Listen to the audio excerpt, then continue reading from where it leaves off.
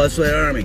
I am currently hiring one position for one female that can cook, clean, sew, knit, and fuck.